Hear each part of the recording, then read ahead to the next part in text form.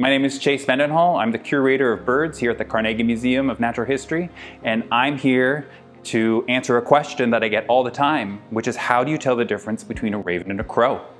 The main differences between a raven and a crow, this is a raven down here, this large uh, bird, uh, and the smaller bird up here is an American crow. The big difference uh, are, are the differences in size.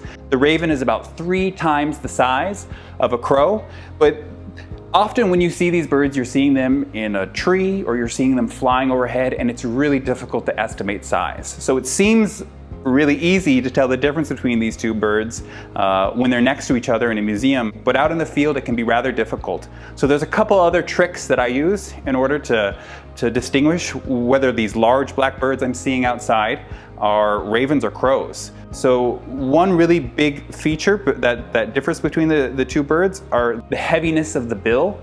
The crow has a very kind of dainty bill. Um, it's much smaller uh, and it doesn't have nearly as many feathers covering the nose openings uh, where the raven has a much thicker, heavier bill. And it definitely has kind of a furry nose where uh, the, the nares are covered by feathers. The other way to tell the difference between these birds would be when they're flying overhead, you'll see that their tails are often open and it's hard to estimate size then as well.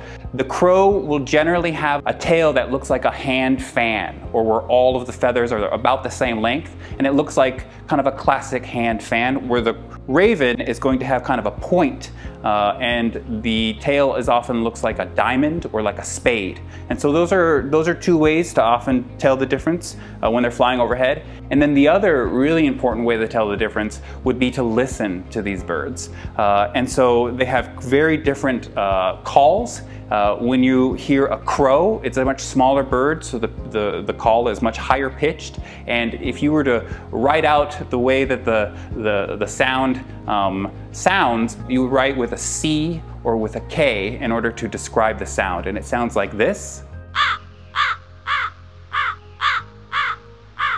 Where the raven is going to have a much lower uh, sounding call. And if you were to write out the onomatopoeia of this bird's call, it would definitely start with R. It would be much lower pitched.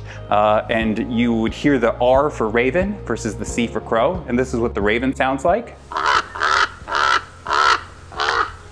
So I hope you can use those sounds and these tips and tricks for determining which bird is which. They're not the only blackbirds in North America, and they're definitely not the only crows and the only ravens in the world.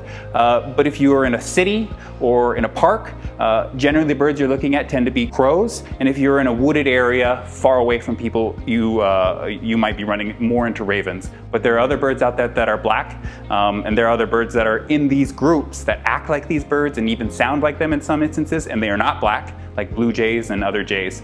So don't get too caught up in the name. Uh, it's important to, to just observe the birds when they're in front of you and then go back to your books later on. It should be fun. Um, but yeah, I hope that this helps you, helps with any of the confusion between uh, crows and ravens.